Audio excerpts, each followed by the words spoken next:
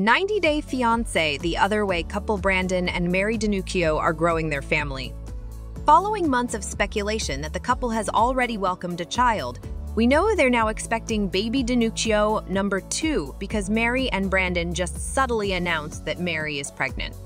While we don't have solid proof that Mary and Brandan are already parents to one child, we did learn this season on 90 Day Fiancé the other way that Mary discovered she was pregnant just months after Brandan arrived in the Philippines. Then Mary's social media activity in August 2022 seemingly proved that they had welcomed their first child when a baby was heard crying in the background before Mary quickly muted the video. Now, the family of three will soon expand to a family of four after the couple's most recent photos showed off Mary's baby bump. On Monday morning, Mary uploaded a series of pics to Instagram showing off her growing midsection.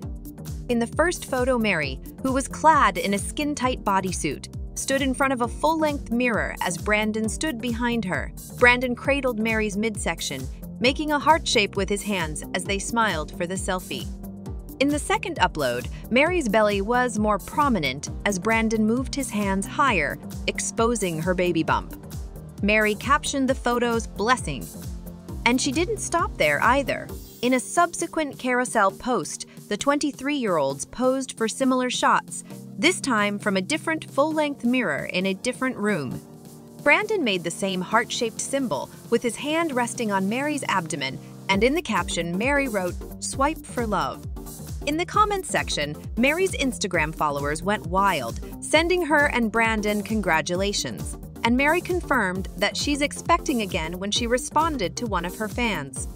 One of Mary's followers wrote, Really love these two. Congratulations on your baby to be. Wishing you much happiness. In response, Mary replied, Thank you.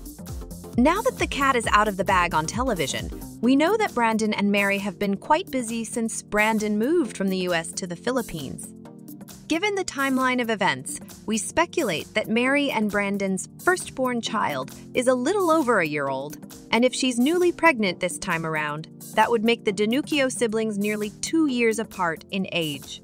Before Mary dropped a major hint online when her baby was heard crying in the background, a woman claiming to be Brandan's cousin let it slip. In the comments section of a TikTok, Brandan's cousin wrote, Brandan and Mary are still together and they're having a baby. It looks like Brandan's cousin was telling the truth, and also that Brandan's family has trouble keeping his private life off social media. So, congratulations to the couple on their growing family. Don't forget to like and subscribe for more updates on 90 Day Fiancé and even more reality TV news.